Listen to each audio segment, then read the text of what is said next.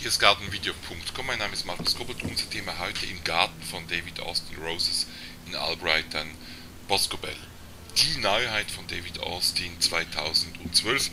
Die Sorte ist mir schon extrem positiv aufgefallen Ende Mai 2012 in der Chelsea Flower Show mit den riesigen großen dem fruchtigen Geschmack. Hier jetzt auch im Garten im Sommer 2012 von David Austin positiv. Wir haben auch ein Video gedreht.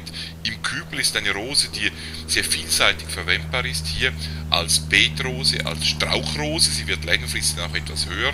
Und auch im Kübel als Terrassenrose. Schauen Sie sich diese leuchtende, fruchtige Farbe ein von Rosa, Aprikot, Pfirsich, alles beieinander. Und man meint den fruchtigen Duft fast zu spüren sehr schön auch die Knospen, die dann die riesigen Blüten rechts, links, oben äh, äh, begleiten. Eine richtig voluptuöse äh, Rose, eine Rose des Überflusses, des Genusses, des Luxus auch.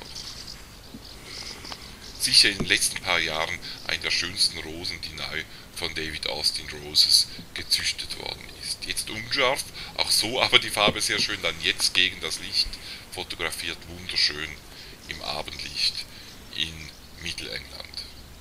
Die letzte Rose und nochmals wunderschön rot, gefüllt mit Dutzenden von Blütenblättern.